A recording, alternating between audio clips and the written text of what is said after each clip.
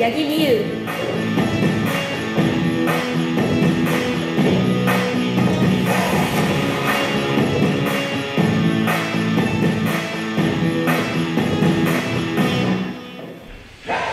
私は SNS に力を入れており現在2万人を超えるフォロワーがいます。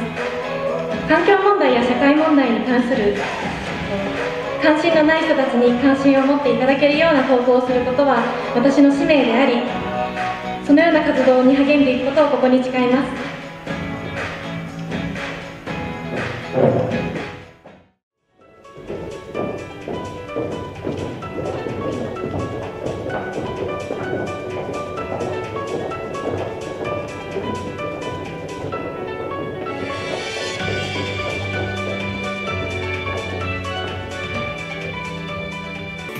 八木美優。以上5名の方がセカンドセッションへ進出いたします。大きな拍手をお願いいたします。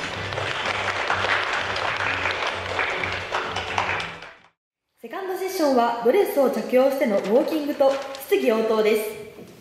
それではスタートしましょう。八木美優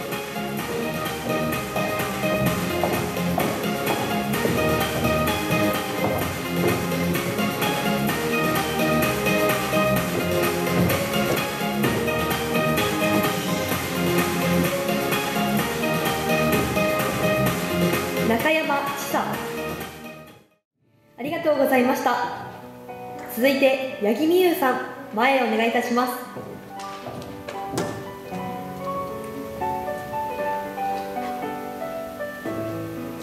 小島しおり様お願いいたします。はい、えー、数あるミスコンの中でなぜミスジャパンに応募されましたか？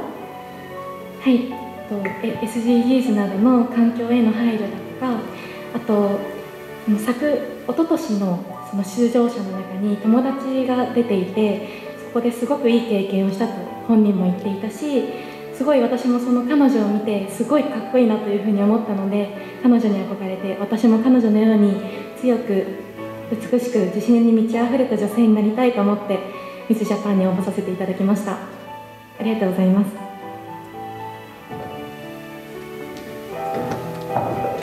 ありがとうございました。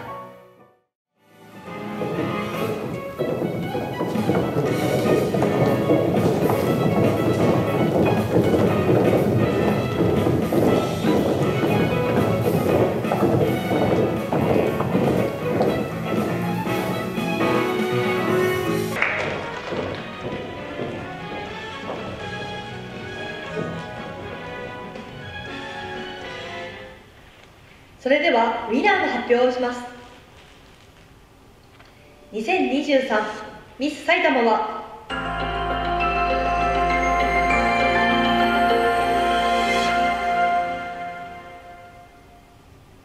八木美優さん。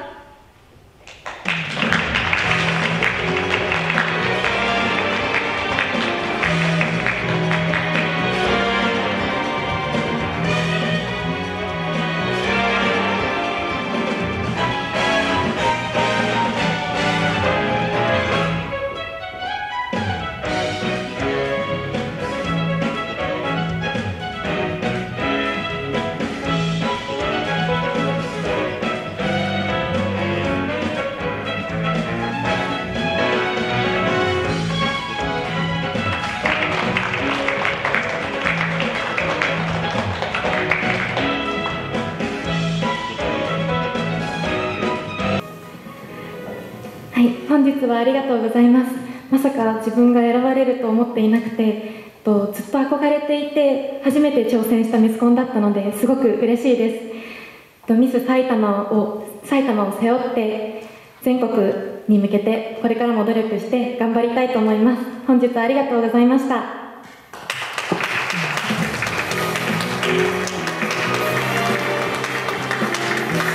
八木美優さんに今一度大きな拍手をお願いいたします。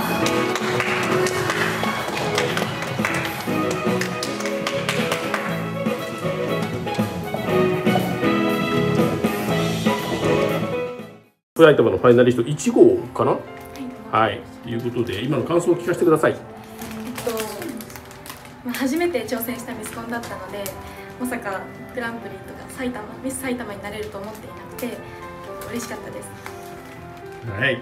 今度は、えっと、日本大会に向けてまずビューティーキャンプとかはい。ですけどもなんか意気込みとかありますか？えっとまだやっぱりウォーキングとかその自分の美しさとかでまだ満足ができていないのでより磨いていけるようにこれからも頑張りたいと思います。はい。じゃあとりあえずあの改めて、えー埼玉代表おめでとうございました。ありがとうございます